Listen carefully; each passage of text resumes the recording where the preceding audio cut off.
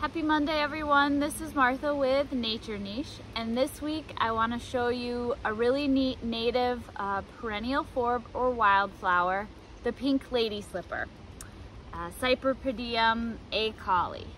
So acaulis means stemless, so another um, common name for this wildflower is stemless lady slipper or moccasin flower uh, because of the shape of the pouch on the flower. And uh, it's called stemless because the leaves um, do not extend up along the stem of the plant. You just have the two basal leaves and then a single um, flower stalk with one flower at the end.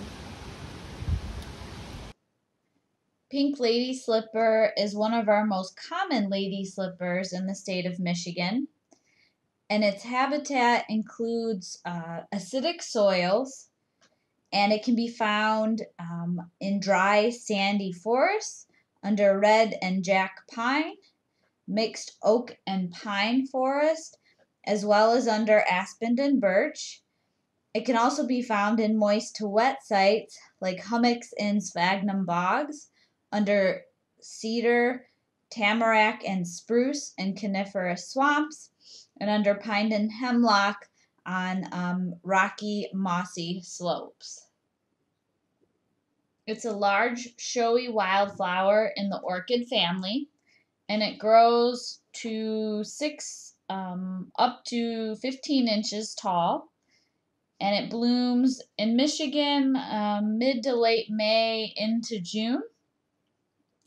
It has uh, two basal leaves with parallel veins, and those leaves are hairy.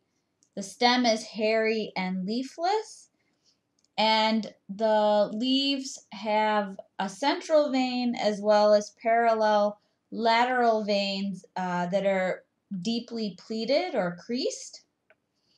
The flowers are white to pinkish in color, even into a deep rose like here. Um, they can be pink with darker uh, red to violet colored veins. Very rarely are they all white. The pouch or lip is about two inches long and is deeply cleft down the center with a pair of tapering, narrow, often twisted petals that are yellow green to um, purple in color also covered in fine hairs. Pink lady slipper is bee pollinated, especially by queen bumblebees early in the growing season that are attracted by the showy and fragrant flower. That's deceptive though, as neither nectar nor accessible pollen are available. So the bees enter through the slit in the lip and um, hairs direct them to the only escape route, which is uh, the exit beneath each of the pollen masses. So they deposit pollen uh, from previously visited flowers as they pass under the stigma and they pick up fresh pollen um, coming out of that exit area. The fruit of Pink Lady Slipper is a capsule that ripens from green to a tan brown color, and as it dries, it splits open to release thousands of tiny powdery seeds.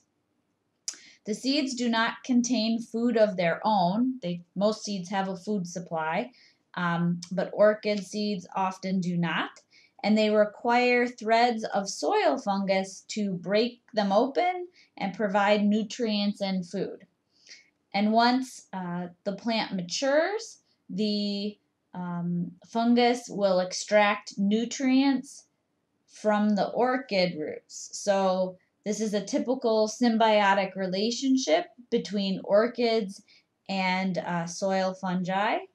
And it's why it's important not to dig up and try to transplant uh, this and many other orchid species it's why they're not propagated for sale. It's very tricky to replicate um, that symbiotic relationship during cultivation.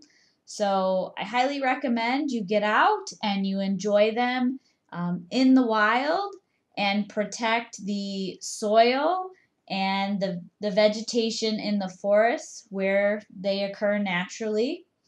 Uh, don't buy them. If you see them for sale, they've likely been dug up um, and they're not going to transplant successfully. So, certainly um, advocate for their conservation and um, help protect the forests and control invasive species and keep the acidic forests where this beautiful orchid occurs in uh, a healthy condition.